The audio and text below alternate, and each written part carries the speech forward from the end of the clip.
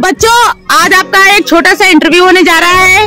देखते हैं एग्रीकल्चर में आपने क्या क्या चीज़ें सीखी है। तो सब तैयार हैं? तो बेटा बताइए इस पालक को बोने से पहले सबसे पहले हमें क्या जाँच करनी चाहिए? मिट्टी की जाँच करनी चाहिए। अगर मिट्टी उपजाऊ नहीं है तो क्या करेंगे? इसमें सड़ी हुई खाद डालेंगे। इसमें हम कंपोस्ट खाद भी डाल सकते हैं जो सब्जियों को सड़ाकर बनाते हैं। अच्छा अच्छा। तो अगर जैसे पालक में पैदावार ज़्यादा नहीं हो रही है तो उसके लिए हम फर्टिलाइज़र क्या क्या डाल सकते हैं? गोबर की खाद सड़ी हुई खाद डाल सकते हैं। हाँ। यूरिया डाल सकते हैं।